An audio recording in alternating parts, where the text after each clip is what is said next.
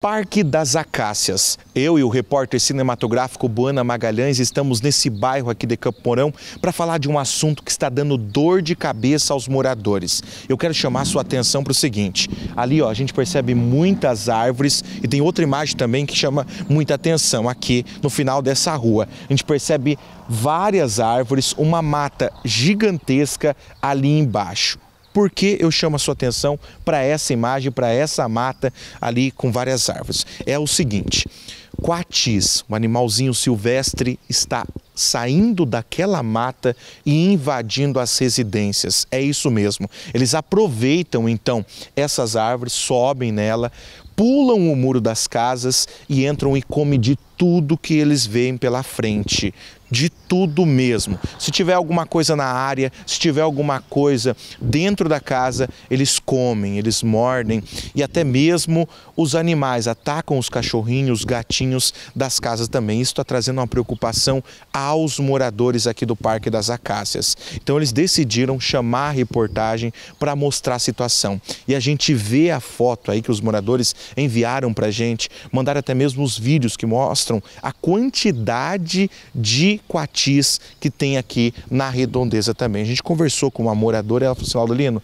eu não estou conseguindo nem dormir mais, eu não consigo dormir, porque independente do horário, é de manhã, à tarde, à noite, eu escuto o barulho do coati e quando eu olho para minhas plantas, quando eu olho para o fundo da minha casa, eu percebo aquele monte de coati e eu fico preocupada fico preocupada demais. A gente vai ouvir o que essa moradora tem a dizer então para nossa equipe de reportagem da situação alarmante aqui no Parque das Acácias.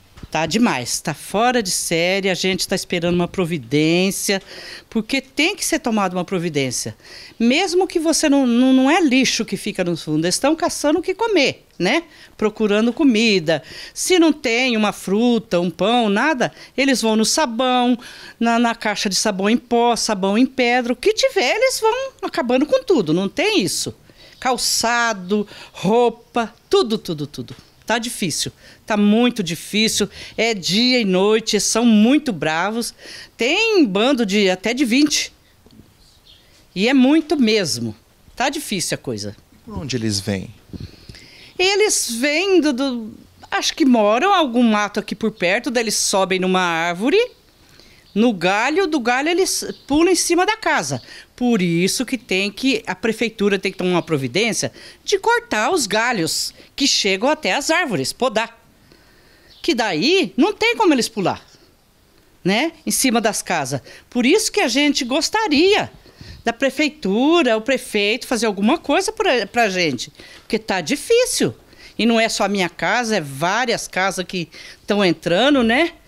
Vixe, ataca a gente, vem pra cima tudo que é bravo, né? Os cachorros, tudo, tá complicado. Dá medo, né? Dá medo, dá medo.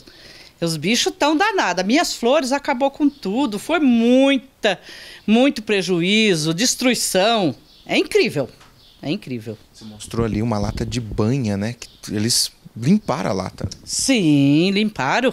Limparam. Eu não sei como que consegue comer. Até uma mão verde que era para fazer doce comer o sabão em pedra. Não pode deixar uma caixa de sabão em pó. Eles destroem tudo. E muitos falam assim, não é só na sua casa, né? É toda a vizinhança aqui. Toda, toda a vizinhança. Até o meu vizinho, coitado aqui, estava os dois, três dias que sem dormir, já era meia-noite, ele estava com farolete tocando esse para ir embora, porque trabalha, né? Sim. Todo mundo trabalha, até a noite foi feita para descansar, né? E não está tendo isso, não está tendo como tá complicada. Tem que, vamos ter que tomar uma providência urgente.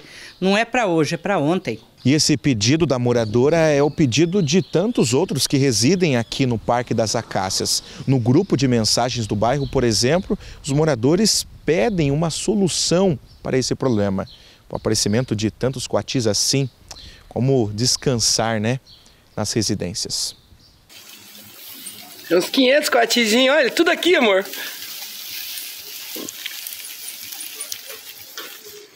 Estão querendo comida, esperando comida, amor.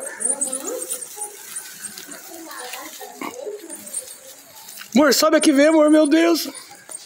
Tem vídeo, tem foto, não tem como não falar. é eu. Que nem esse horário, a maioria do pessoal tá na casa, tá trabalhando, né?